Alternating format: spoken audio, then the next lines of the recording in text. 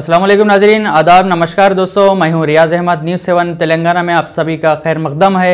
बढ़ते हैं मजीद खबरों की तरफ़। जिला नारायणपेट के मुसखरा जामे मस्जिद से आज बाद नमाज़ जुमा नारायणपेट म्यूनसिपालिटी में वार्ड नंबर तेईस से आज़ाद उम्मीदवार नवाज़ मूसा साहब ने अपना पर्चे नाम दाखिल किया। उन्होंने वार्ड नंबर तेईस की आवाम का शुक्रिया अदा किया। साथ ही साथ वार्ड के सभी भाइयों, बहनों, बुज़ुर्गों और खानदानी अफराद से अदबन गुजारिश की है की अपने हक में वोट का इस्तेमाल करने की अपील की।